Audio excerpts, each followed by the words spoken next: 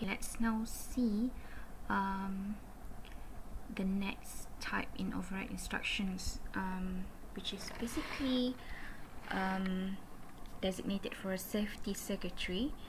So um,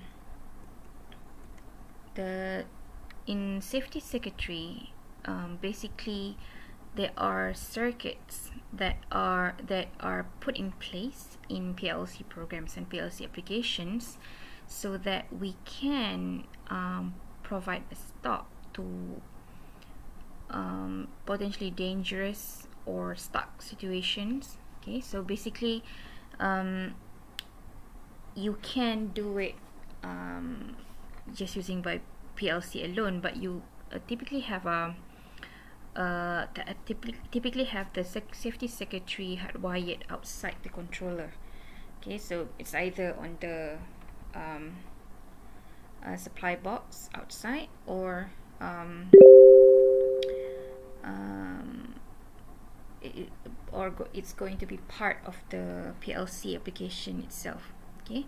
So the typical PLC safety diagram um, you will have this um, there are a few things that we need we can consider uh, doing. Uh, typically the, the main thing is it must be um, it must have a main disconnect switch okay? So it is called in a it is basically installed in a power mains. And um, so if you have a main disconnect switch so you can take basically the power out of out of the program straight away. Um, and here uh, you um, typically have a step down isolation transformer. So it, it, it is used to isolate the controller from the main power distribution and uh, step the voltage down. So um, you, you, you also um, will have a hardwired uh, MCR here. Okay so you can see that uh, this um, MCR uh, is hardwired on vertical rung here. So basically if um, we um, take off or uh, break break down the circuit using a stop button and this one vertical rung is typically uh, taken off okay from the so, so so the control will then be the control of the PLC will then be uh, disabled.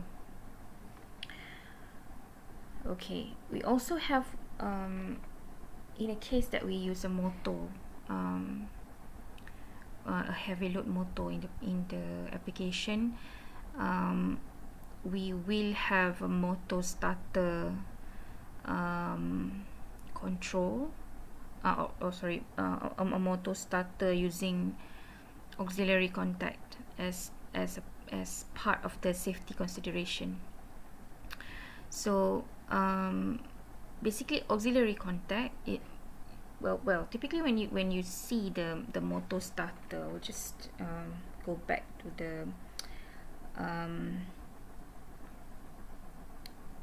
original circuits. Not circuits um, just okay just uh, let me fit in this one first. Okay so uh, in the original or in in in in week 3 okay? Typically we will have uh, this um, diagram all right and um, well when when we see the magnetic motor starter we'll see that you will have um, well obviously the the overload contacts that take care of when there is overload happens okay? And um, it will break down or break break the circuit break the circuitry in a sense that this overload contacts will basically break the power. And we also have what we call here the auxiliary contact okay? So auxiliary what what insert what auxiliary contact uh, do is basically it will do part of control functions that are um, isolated from the power.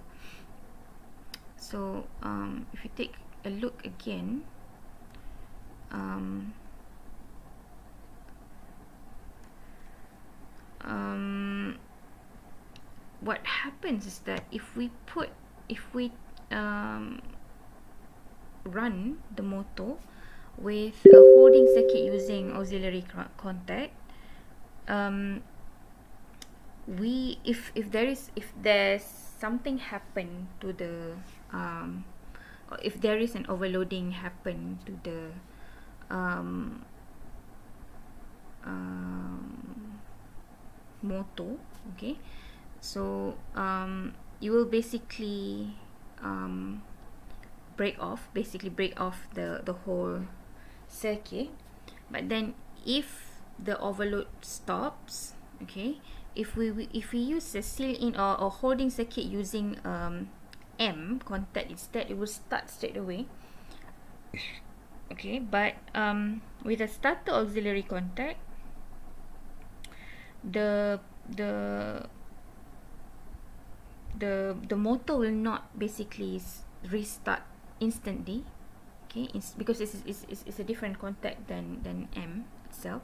So um, if we if we um, make sure that this um, con auxiliary contact is used as a holding circuit then we can ensure that there is no potentially unsafe start and restarting of the motor. So the other ones is uh, wiring the stop push button okay? So it must you must always use a normally closed uh, button for a stop button. So usually when we see this um, red stop button mechanical stop button that um, you know we can buy um, in store electronic store.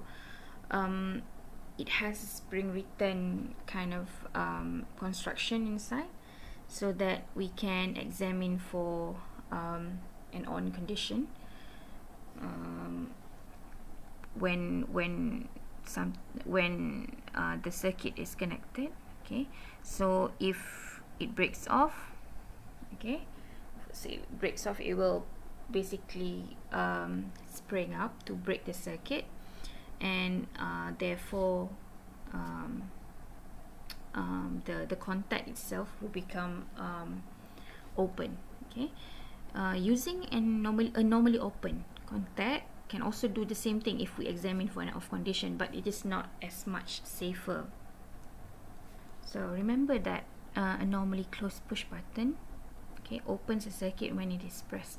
So this the the typical um, um, setup of the normally closed push button is uh, it is um, the contact itself is um, already closed. Okay? Um, in a normal position alright? In comparison to uh, normally open push button right so normally open, push button looks like this. Um, but normally closed push, push button um, has this um, closed condition uh, normally okay? So when you press you actually break the contact.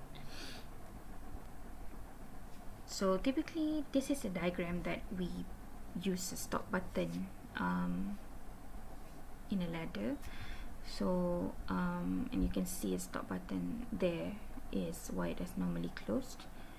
So if if actually you use a normally open button and the circuit between the button and the input, input point were to be broken the the logic control could never react to the stop command okay? Since the input all will, will, will always be false okay? So um, it's, it's an imp important consideration that we make sure that we always use normally open normally closed contact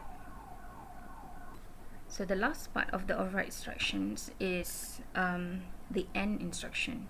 So end instructions we don't really see in, in, in CX programmer because it's already automatically um, written for you by the program. Um, but the end instructions, well, basically the, the, the CX programmer will not uh, be able to be executed if you don't have in, end instructions in place. So it is as the last instruction in any program okay? So if there are subroutines okay? Remember that uh, when we have subroutines uh, previously, uh, it is written at the end of the program. So basically, end is going to be placed after the last subroutines. Okay, so remember, um, after this uh, uh, subroutine application, we can see that at the end here we, we, we don't have we, we can't really see from the main program because end is a program um, automatically in the PLC so if we take a look in a CX program and we um, say for example um, look at this subroutine or the program for um, doing a, a, flashing of a pilot line in a subroutine like I, I explained previously. And we can see that basically when we run a new uh, when we create a program and is already uh, written automatically inside um, program or created automatically when you want to create a program. So if we double click here we can see that um, wait I'm, I'm just gonna we can see that basically end is um, already written okay inside here. And um, if we click again on the program and we can see that uh, this all program ending at return and end is um, actually part of the program um, already written okay? So um, it is actually at the end of all of the program. Okay so we need to put in mind also that there is no instruction written after end will be executed. So end is basically the last instructions anywhere. Um, but we can also place um, end anywhere in the program to execute all instructions up to that point. So end is kind of uh, you can um, use that uh, to, de to debug a program um, but you can actually do it like from the top up to the certain part. And you can also we can you you you cannot um, actually jump uh, a certain um, lines on the ladder. Um, so if you want to do that to do that you have to use jump instead. So it is used to execute all instructions okay up to that point. And it must be removed to execute the remainder of the program. So um, if you don't have the end instructions obviously it will it will give you a compile error and um, the error message of no end instruction will appear. Okay so um, I think uh, that will be the end for the um, for this lecture about override instructions. If you have any question um, we can discuss it on the telegram group and um, I will try my best to uh, answer your questions there. Please um, make sure that you um, verify your attendance for the class today by answering uh, a few questions in ULearn so that I can um, file all, all the um, students that um, see the, or, or go through the lecture for today. Okay, th thank you very much for all uh, your attention. Um, any confusion or uh, question you can um, ask me in the telegram group. Um, so thank you everyone